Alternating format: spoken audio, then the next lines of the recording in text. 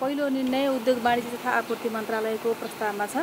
यसमा काभ्रेपलाञ्चोक जिल्लाको पाँचखाल नगरपालिकामा रहेको औद्योगिक ग्रामलाई महिला उद्यमी विशेष औद्योगिक ग्राममा रूपान्तरण गर्ने भन्ने निर्णय भएको छ।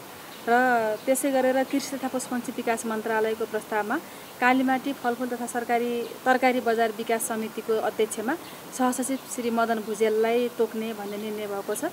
र त्यसै गरेर गृह मन्त्रालयको प्रस्ताव छ अर्को। र यो गृह मन्त्रालयको प्रस्तावमा आवश्यक सेवा सञ्चालन ऐन दुई हजार चौधको दफा तिनको उपदफा एक बमोजिम आवश्यक सेवामा हडताल गर्न निषेध गरी आदेश जारी गर्ने र सोको सूचना नेपाल राजपत्रमा प्रकाशन गर्ने भन्ने छ।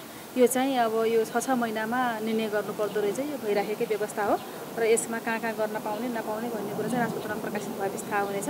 त्यसै गरेर वन तथा वातावरण मन्त्रालयको प्रस्ताव छ। यसमा चाहिँ माथिल्लो मैलुङ खोला जलविद्युत लिमिटेडलाई आयोजनाको टावर राइट अफ वेको लागि रसुवा र नुवाकोट जिल्लामा रहेको राष्ट्रिय वन क्षेत्र प्रयोग गर्न दिन तथा सो वन क्षेत्रमा रहेका रुखहरू हटाउन स्वीकृति दिने भन्ने निर्णय पनि भएको छ। त्यसै गरेर सङ्घीय मामला सामान्य प्रशासन मन्त्रालयको प्रस्तावमा मिति दुई हजार असी जेठ उन्तिसदेखि बत्तिससम्म बेल्जियमको ब्रसेल्समा आयोजना हुने मेट्रोपोलिस वर्ल्ड कङ्ग्रेस तथा Brussels urban summit two thousand twenty three विषय कार्यक्रममा सहभागी हुन काठमाडौँ महानगरपालिकाका नगर प्रमुख श्री बालेन्द्र शाहको भ्रमण स्वीकृति गर्ने भन्ने निर्णय भएको छ। त्यसै गरेर अब हाम्रो यो मन्त्री परिषदको विधेयक समितिमा गएको थियो।